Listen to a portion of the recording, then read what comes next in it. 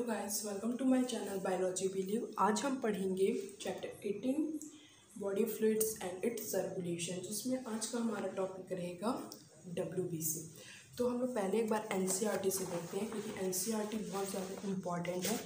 तो एन में क्या लिखा गया है? ल्यूकोसाइट जो ल्यूकोसाइट होता है, वो डब्ल्यू है। ये कलरलेस है। कलरलेस क्यों है? Due to the lack of haemoglobins और ये इसका जो लाइफ स्पैन है, वो बहुत ज़्यादा कम होता है एज़ कम्पेरिजन टू आरबीसी ये बहुत ज़्यादा कम होता है शॉर्ट लाइफ होता है। और वहीं इसका जो काउंट्स है, वो भी बहुत कम रहता है as compare as comparison to RBC इसका रहता है सिर्फ़ six thousand to eight thousand millimetre पर क्यूब ठीक है? और इसको दो कैटेगराइज में दो कैटेगराइज में इसको बांटा जाता है। पहला होता है ग्रेन्यूलोसाइट और ए ग्रेन्यूलोसाइट ग्रेन्यूलोसाइट क्या होता है? जिसमें ग्रेन्यूल्स प्रेजेंट होते हैं। एक ग्रेन्यूलोसाइट में ए ग्रेन्यूल्स अपसेंट होते हैं। तो ग्रेन्यूलोसाइट में क्या होता है? थ्री टाइप्स ऑफ़ प्रेजेंट होते हैं।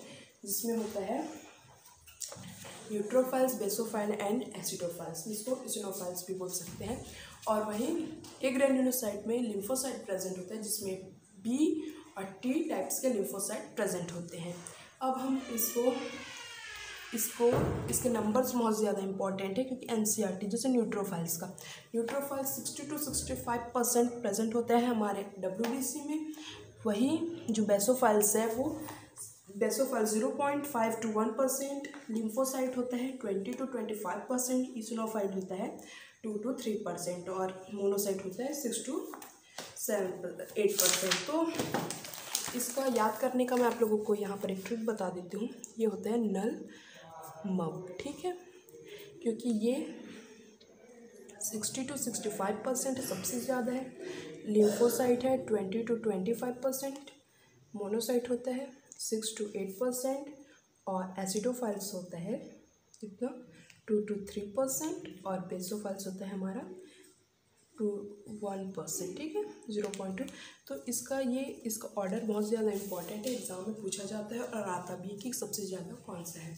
तो अब इसमें हम इसका क्या पढ़ेंगे? फ़ंक्शन जो न्यूट्रोफाइल्स और मोनोसाइट है, वो बहुत ज़्यादा रहते हैं, बहुत प्रेजेंट रहते हैं मोस्ट एविडेंट सेल है, बहुत इंपॉर्टेंट सेल है। क्यों? एक तो फेगोसाइटिक भी है। ये जितने भी फॉरेन ऑर्गेनिज्म हमारे बॉडी में एंटर करते हैं, उसको ये डिस्ट्रॉय करना स्टार्ट कर देता है। सपोज़ इसको मैं एग्जांपल देके बता रही हूँ। जैसे कि कोई भी कहीं भी हो अनवांटेड चीज़ आता है तो उसके लिए एक बहुत बड़ा, अगर एनिमी आ रहा है, कोई भी दुश्मन आ रहा है तो उसके प्रति एक बहुत बड़ा, उसका दुश्मन भी रहता है, दोनों अगेंस्ट में तो क्या होता है? वैसे न्यूट्रोफाइल मोनोसाइड प्रेजेंट होता है हमारे डब्ल्यू में स्कैवेंजर और आर्मी की तरह जो हेल्प करता है कि फॉरेन बॉडी को डिस्ट्रॉय कर दे। वही जो बेसोफल्स है बेसोफल्स क्या सिक्रेट करता है? बेसोफाइल सिक्रेट करता है हिस्टामिन सर्टोनिन और हेपरिन हेपरिन का क्या काम है? वो कोआगुलेशन करता है क्लॉटिंग करता है। हिस्टामिन और सर्टोनिन सब जानते हो क्या करता है? ये एलर्जी पार्ट को रिमूव करता है, ठीक है? And inflammatory reaction eosinophils eosinophils acidophils जिसमें एसिड प्रेजेंट होता है। तो ये क्या करते हैं? जितना भी पैरासिटिक है, उस ऑर्गेनिज्म को डिस्ट्रॉय करने के लिए बहुत बड़ा हेल्पर है। अब चलते हैं lymphocyte lymphocyte twenty to twenty five percent W B C में प्रेजेंट होते हैं। अब जो लिम्फोसाइट है, वो टू टाइप्स के होते हैं। एक तो बी होता है टी होता है, ठीक है? अब इसका फॉर्मेशन क्या है? ये बोन मैरो है, ठीक है? तो अब ये बोन मैरो में कैसे होता है? ये यहाँ बीच में बी लिम्फोसाइट होता है, क्योंकि ये बोन है। लेकिन जो टी होता है, जो टी लिम्फोसाइट है, वो कहाँ होता है? एक थाइमस ग्लैंड रहता है, ठीक है? थाइमस ग्लैंड में प्रेजेंट होता है, जिसमें ये होता है, ठीक है? आज हम बस लिम्फोसाइट इतना ही पढ़ेंगे। हम लोग बाद में पढ़ेंगे किसमें? ह्यूमन हेल्थ एंड डिज़ीज़ में। अब चलते हैं प्लेटलेट्स में। प्लेटलेट्स क्या होता है? प्लेटलेट्स को थ्रोम्बोसाइट भी बोला जाता है। और ये एक सेल नहीं है, ये बहुत ज़्यादा छोटा साइज़ होता है इसका। ये इसको आप बोल सकते हो सेल का टुकड़ा बोल सकते हो। बहुत छोटा रहता है सेल से बहुत ज़्यादा छोटा तो इसको सेल फ्रेगमेंट बोला जाता है। बट इसका फ़ंक्शन तो बहुत ज़्यादा इंपॉर्टेंट है, कैसे? क्योंकि अगर देखो, ये तो क्लॉटिंग फैक्टर का काम करता है। अगर छोटा सा भी कट लग जाए तो वहाँ पर हमारे अगर क्लॉटिंग फैक्टर प्लेटलेट्स हैं तो वहाँ पर क्लॉटिंग फैक्टर करके ब्लड को रोक देता है। अगर ब्लड नहीं रहेगा तो सॉरी प्लेटलेट्स नहीं रहेगा तो ये क्या होता है? एक डिसऑर्डर होता है जिसको बोलते हैं हीमोफीलिया हीमोफीलिया क्या होता है? अगर छोटा सा भी कट लग जाए तो बहुत ज़्यादा ब्लड लॉस हो जाता है, उससे पर्सन डाई भी हो जाते हैं, मर जाते हैं। इसलिए बहुत छोटा तो है बट बहुत इंपॉर्टेंट है। तो इसका जो काउंट्स है ना, वो ये है। कितना one lakh fifty thousand to three lakh fifty thousand platelets ठीक है? इतना प्रेजेंट होता है। देखो, सबसे ज़्यादा किसमें होता है? आरबीसी उसके बाद कितने होते हैं? प्लेटलेट्स उसके बाद होता है डब्ल्यूबीसी में इसका भी ऑर्डर आ सकता है। मैं आप लोगों को दो ऑर्डर बताऊँगी जैसे नलमब ये याद करने का तरीका है। आप अपने तरीके से याद कर सकते हो। ये मेरा तरीका है। अब चलते हैं हम लोग ब्लड ग्रुप में। ब्लड ग्रुप ब्लड ग्रुप सब जानते हो, ये फोर टाइप से होते हैं ए बी ए बी और ओ अब इसके एंटीजेंस कोई भी आर बी सी में अगर एंटीजन्स प्रेजेंट है तो जैसे कि किसी का ब्लड ग्रुप ए है, ठीक है? किसी का बी होता है, किसी का ओ होता है, किसी का ए बी होता है। तो जैसे जैसे ब्लड ग्रुप रहता है, वैसे वैसे एंटीजन्स उनके आरबीसी में प्रेजेंट होते हैं। ए का है तो ए में बी का है तो बी में ए बी है तो ए बी लेकिन ओ में कोई भी एंटीजन्स प्रेजेंट नहीं होता। वैसे ही एंटीबॉडीज़ भी प्रेजेंट प्लाज्मा में प्रेजेंट रहते हैं। जैसे ए एंटीजन्स है तो उसमें क्या होता है? एंटी बी होता है। बी में एंटी ए होता है ए बी में नील होता है। कुछ भी एंटीजन्स एंटीबॉडीज प्रेजेंट नहीं होता है। वहीं ओ में एंटी ए और एंटी बी होते हैं। और आप, जैसे कि ए बी में नील क्यों है? क्यों? क्योंकि ये सारे प्रकार के जितने भी ब्लड्स हैं, ये इसको ले सकता है। कुछ भी डोनेट कर सकते हैं। तो क्या होता है, ये कोई भी ब्लड तो एक्सेप्ट कर सकता है। तो इनको कोई भी एंटीबॉडीज़ प्रोड्यूस करने की ज़रूरत नहीं पड़ती है।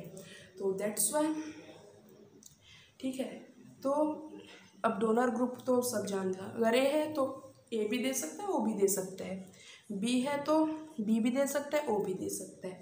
ए बी तो ए बी भी दे सकता है ए भी दे सकता है बी भी ओ ओ को सिर्फ़ ओ ही दे सकता है अदरवाइज़ कोई और नहीं दे सकता। ठीक है तो इसमें एन में वही दिया है। तो अब क्या होता है, इसमें और कुछ बोला गया है कि अगर कोई भी डोनर है तो केयरफुली ही देना चाहिए ब्लड को। बिफोर बिना चेक के नहीं दे सकते। क्या होता है, जैसे कि ए है, एक पर्सन ए है सपोज़ इनको ब्लड का ज़रूरत पड़ गया तो उसको हम ए दे सकते हैं या ओ दे सकते हैं। सपोज़ उस ब्लड ग्रुप में हम बी डाल दिए तो क्या होता है? वो चिपकने लग जाते जो आरबीसी है। क्लॉटिंग फैक्टर बन जाते हैं क्लॉट होने लग जाता है ब्लड में। वो एक्सेप्ट नहीं करता, वो और उल्टा रिएक्शन कर देता है। ठीक है गाइज़ आई होप समझ में आ गया होगा। अब हम चलते हैं आर एच ग्रुपिंग में। अब इस आर एच ग्रुपिंग क्या होता है? आर एच भी टू टाइप्स के होते हैं, ठीक है? आर एच टू टाइप्स के होते हैं।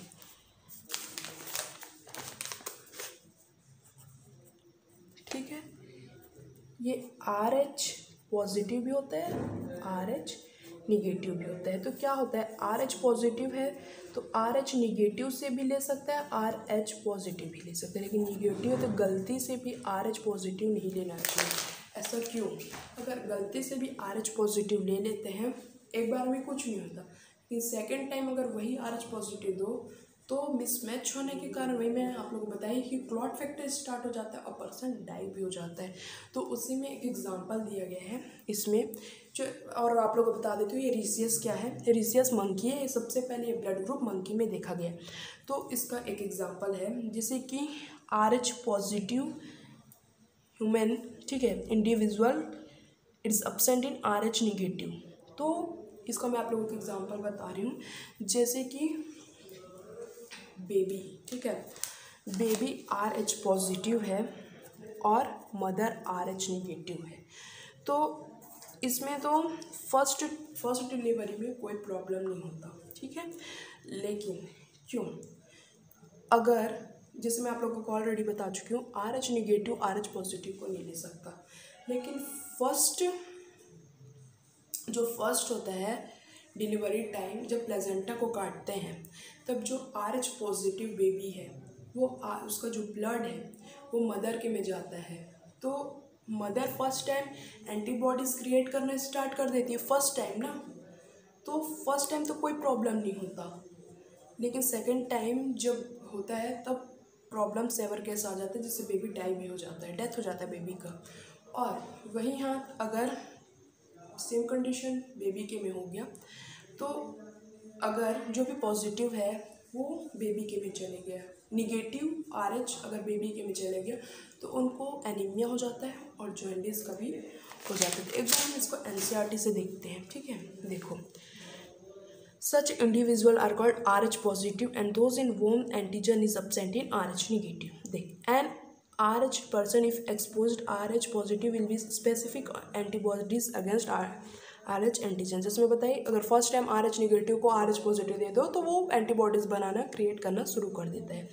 लेकिन therefore R H group also measured before transfusion पहले तो चेक करना ज़रूरी होता है। Special care of R H incompatibility mismatching वही एगोगेशन होता है क्लम्पिंग ऑफ़ ब्लड होता है। और एक और चीज़ बताना भूल गई, इसमें आई जी एम ये एंटीबॉडीज़ क्रिएट करते हैं और सबसे बड़ा है। तो इसमें आई जी डी होता है ई एम ए जी होता है, सबसे बड़ा होता है, आपको याद करने का तरीका है? दिमाग।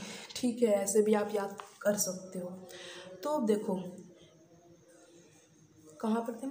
Has been observe between the R H negative blood of pregnant mother with the R H positive blood of the fetus RH antigen of fetus do not exposed RH negative of the mother the first pregnancy first pregnancy में से कुछ problem ज़्यादा नहीं होता, क्योंकि जो भी blood है, वो मदर के अपने वेजल में चलता है और जो बेबी है, उनके वेजल में। लेकिन जब प्लेजेंटा कट करने के टाइम सेपरेट करते हैं, उस टाइम प्रॉब्लम क्रिएट होता है। How during the first there is possibility exposure of maternal blood small amount of to R is positive from the fetus क्या होता है? फ़र्स्ट टाइम क्या होता है? जितने भी थोड़ा अमाउंट ऑफ़ ब्लड है, वो बेबी का जब कट करते हैं तो थोड़ा अमाउंट ऑफ़ ब्लड मदर के में चले जाते हैं। In such case, mother start preparing antibody against RH antigen in her blood.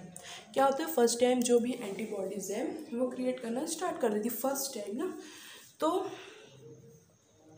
in case her subsequent pregnancy the rh antibodies from the mother leak into the blood for fetus and destroy the fetal rbc अगर R H negative अगर blood बच्चे के में चलेगा are H positive तो जो R B C है वो डिस्ट्रॉय होना स्टार्ट कर देता है। इसके कारण क्या होता है?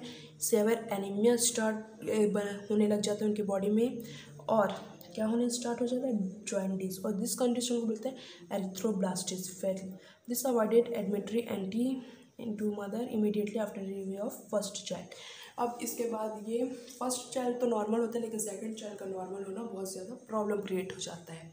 ओके गाइस आई होप आप लोगों को आर एच ग्रुपिंग समझ में आ गया होगा और साथ साथ आप लोग लास्ट ईयर को क्वेश्चन भी कर सकते हो।